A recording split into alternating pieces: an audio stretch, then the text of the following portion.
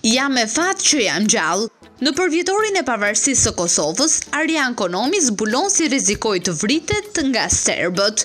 E shohim sot në programe argëtuese teksa luan rolin e opinionistit.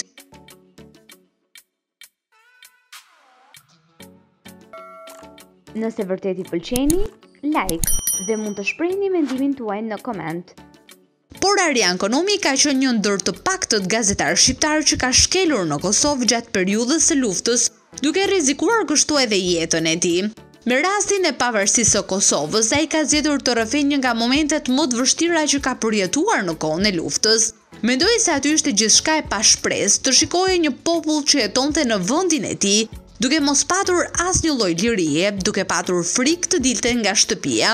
Unë kam parë situata të tmerrshme në Gjakovë, ka qenë situata shumë e rrezikshme, ku së bashku me kryetarin e bashkisë së Gjakovës dhe vëllain e tij dëshmor të luftës, më kanë strehuar në shtëpi dhe më pas më kanë nxjerrë nga Gjakova, ka thënë Arjan Konomi.